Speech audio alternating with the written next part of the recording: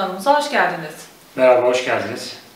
Bildiğiniz gibi kullandığımız ürünlerle ilgili kısa bilgilendirici videoları çekip sizlerle paylaşıyoruz. Bugün ise Ninkasi marka 3846 kombi araç buzdolabı ile ilgili bir kullanıcı olarak yorumlarımızı sizlerle paylaşmak istiyoruz.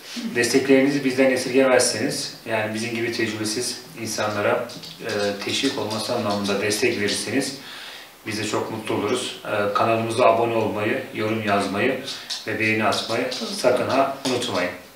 Şimdi sizlere neden bu markayı tercih ettik? Bir kullanıcı olarak yorumlarımız nelerdir? Ürünün teknik bilgileri, avantajları ve dezavantajları nelerdir? Kısaca bunlardan bahsetmek. Neden bu markayı tercih ettik? Ee, öncelikle yerli olmasından sebep markayı tercih ettik. Ondan sonra da e, çok fazla ürün var. Yani yelpaze bu alanda çok fazla. Ee, neden bu dolap? Yani niye bu marka? Ee, İz- İzmir'deki arkadaşımız, dostumuzun e, tavsiyesi üzerine e, Buradan ona selam gönderelim. Kamber'e buradan selam gönderelim. Ee, onun tavsiyesi üzerine e, bu dolaba sahip olduk. Bir yılı geçkindir kullanıyoruz. E, gayet de e, Memnunuz. E, tabii ki Sev de söyledi. E, dezavantajları, avantajları kısmı var. Bunları da sizlere birazdan daha detaylı şekilde anlatacağız. Ürünün avantaj ve dezavantajlarına gelecek olursak tabii ki avantajları çok daha fazla ama öncelikle e, dezavantajlarından bahsedelim. Yani en önemlisi e, kapak. E, kapağının bu şekilde açılmış olması. E, yani bu ebattaki, bu büyüklükteki bir buzdolabın bana kalırsa ön taraftan sağa veya sola açılıyor olması gerekirdi. Yani bu bu bir bence dezavantaj. Yani Çünkü- bu büyüklükteki bir dolap için. Bizim aracımız biliyorsunuz yüksek. e, dolayısıyla içerisinden bir ürün almak için Evet. ben yetişemiyorum açıkçası yani hani e, Evet. dolabı açıp kasadayken içerisinden bir şey almakta zorlanıyorum. E, ortası yani içerisi tabii çukur olması sebebiyle e, tombala çeker gibi e, oradan ürün çıkartmaya çalışıyoruz. Bu birincisi. İkincisi ise e, Şöyle göstereyim. Ya bu şekilde gönderdiler bize. Yani görüldüğü üzere kablo açıkta kalmış, e, soket takılmış, çakmaklıktan vazgeçilmiş açıklamaları fazla temassızlık sebebiyle e, enerji dolaba doğru dürüst iletilmediği için soket sistemine geçilmiş ama daha düzgün bir soket, daha profesyonel, daha iyi bir soket takılabilirdi. E, bana birazcık şey geldi, yani uyduruk geldi açıkçası. evet. Onun haricinde Fiyatı diyebiliriz şu anda belki. şu an için evet bir fiyat e, söz konusu olabilir. Çünkü bizim aldığımız fiyatla şimdiki fiyat arasında uçurumlar var. Şu an için fiyatta dezavantaj sayabiliriz. Yani açıkçası benim şahsi fikrim e, şimdi bu dolabı alacak alır mıydık yani alacak olsak fiyata. alır mıydık bu fiyata? Bilemiyoruz. Açıkçası ben istemezdim yani. Al, almazdık yani. E, fiyatını zaten söylemiyoruz. E, açıklamalar kısmına e, sitenin yani Linkini linkini oraya evet koyacağız. E, oradan ulaşabilirsiniz. Fiyatı da oradan görebilirsiniz.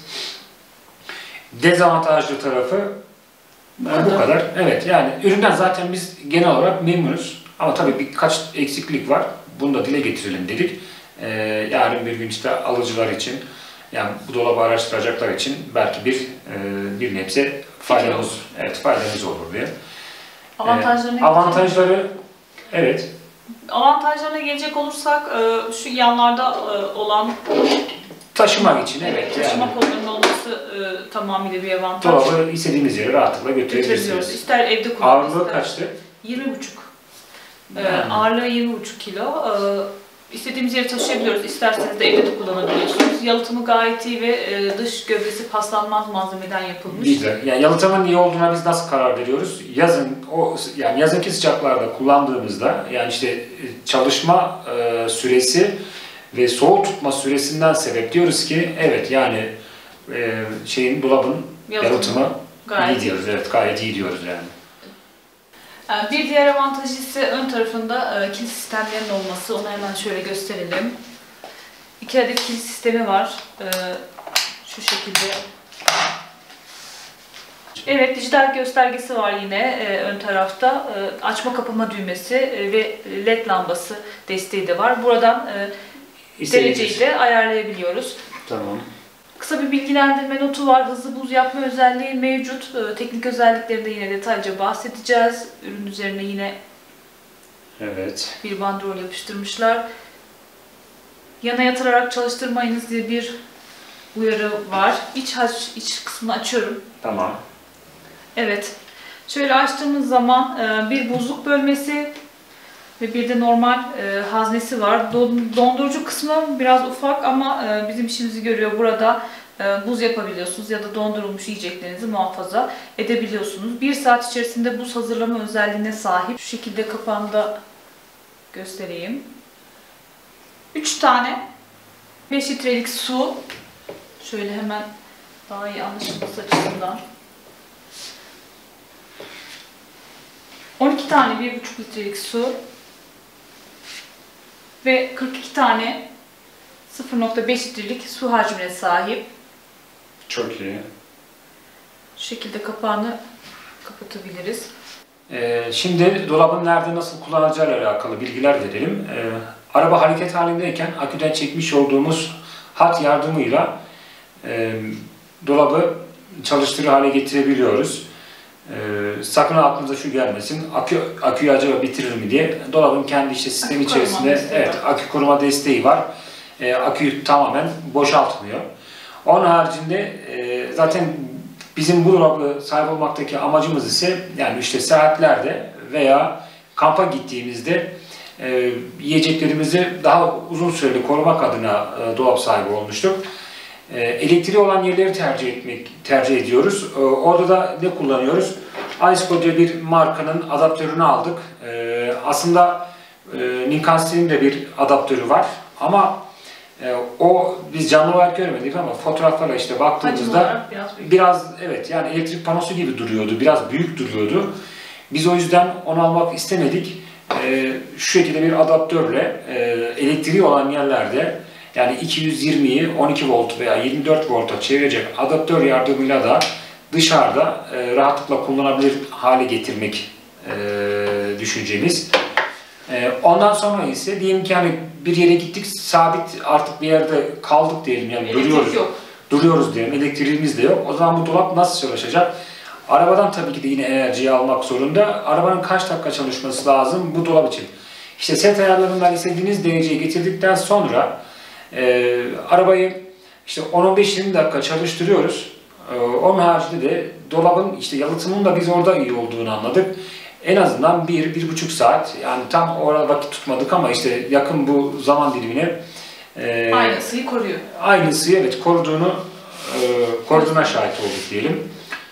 Dolapla alakalı zaten e, öyle söylenecek pek bir şey de e, yok. Neticesinde e, o kadar karmaşık bir yapıya sahip olmadığı gibi işte ürün yani herhangi bir yiyecek koyduğunuzda ya da suyu koyduğunuzda kısa sürede soğutuyor mu ve soğuttuktan sonra bunu uzun süreli tutuyor mu? E, bizim için önemli olan nokta oydu.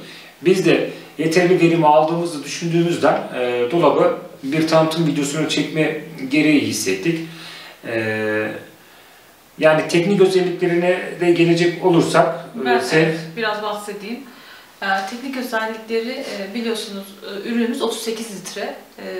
Firmanın linkini zaten e, paylaşacağız videonun altında. Orada çeşitli Aynen. boyutlarda ve litrelerde e, ürünleri de mevcut ama renk olarak e, tek renk çalışıyor firma. E, boyutlarına gelecek olursam yüksekliği 48 santim, derinliği 40 santim ve uzunluğu 66 santim. Yani biz aracımıza e, uygun olduğu için bu yüksekliği tercih ettik. evet Değil yani mi? sülük kapakla zemin arasındaki mesafe Tam yani mesafeyi hemen hemen bu dolap kurtarıyordu. Ee, Onun dışında e, üç tarafta fan var. Bu fanları mutlaka bir tarafını açıkta bırakmak gerekiyor ara- araca yerleştirirken. Ee, Tutma kutuların olması yine teknik özelliklerinden bir tanesi. Dijital göstergesi, e, buzdolabı yani buzluk haznesi ve dolabın haznesinin ısısı e, birbirinden farklı olamıyor. Tek derece ayarlayabiliyoruz. Evet. Ee, bu da önemli bir nokta. Akü koruma desteğinden bahsettik. Artı 10 ve eksi 18 derece e, dondurucu ve soğutma özelliğine sahip. 18 ve 43 derece ortam sıcaklığında da e, çalışabiliyor aynı zamanda. Ayrıca paslanmaz gövdeye sahip e, ve aynı zamanda 220'ye çevirttirip yani ara bir aparatına sahip olup evde de bu buzdolabını kullanabilirsiniz. Evet yani yedek olarak kullanabilirsiniz. Bir ürün tanıtım videosundan sonuna geldik. Ee, yeni videolarda, yeni ürünlerle e, tekrar bir arada olmak dileğiyle. Hoşçakalın. Ben de son olarak şunu söylemek istiyorum. Biz aslında işin gırgır, eğlence tarafındayız. Ee, e, adımız Hıdır, elimizden gelen Budur. Ee, İlla ki hatalarımız, yanlışlarımız oluyordur. Herkesin affına sığınıyoruz. Ee, Hoşçakalın. bir başka videoda görüşmek dileğiyle. Görüşmek dileğiyle. Hoşçakalın. Hoşçakalın.